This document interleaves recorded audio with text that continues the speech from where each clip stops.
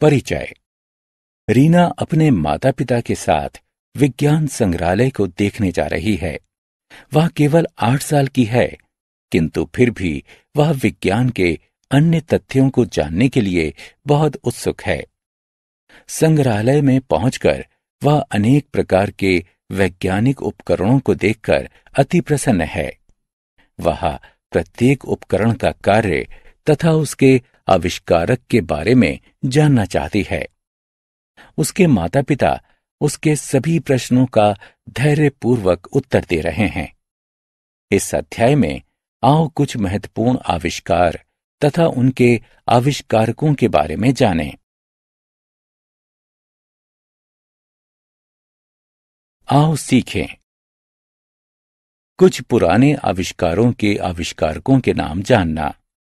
आविष्कारों के कार्य की सूची बनाना। भाप के इंजन का आविष्कार। भाप का इंजन एक ऐसा ऊष्मा इंजन है, जो कि भाप को ईंधन के रूप में प्रयोग करता है तथा इंजन को शक्ति प्रदान करता है। 1775 में जेम्स वॉट ने भाप के इंजन का आविष्कार किया था। हवाई जहाज़ का आविष्कार। विल्बर राइट तथा ऑरविल राइट नामक राइट बंधुओं ने पहला हवाई जहाज़ बनाया तथा उड़ाया था।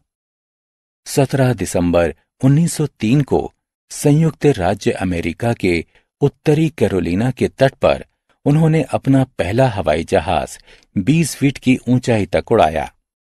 ये उड़ान 12 सेकंड में पूरी हुई तथा इसने लगभग 120 फीट दूरी तय की थी। मुद्रण यानी प्रिंटिंग प्रेस का आविष्कार। मुद्रण यानी प्रिंटिंग प्रेस एक ऐसी युक्ति है, जो किसी कागज़ पर लिखे लेख की कई प्रतियाँ यानी कॉपी निकालने में प्रयोग होती है। इसका आविष्कार सन 1440 में योहानेस गुटनबर्ग ने किया था।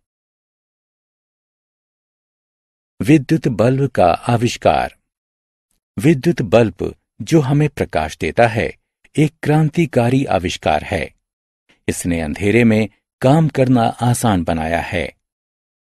विद्युत बल्ब का आविष्कार अठारह सौ उनासी में प्रसिद्ध वैज्ञानिक थॉमस अल्वा एडिसन ने किया था। टेलीफोन का आविष्कार, टेलीफोन संचार का एक माध्यम है।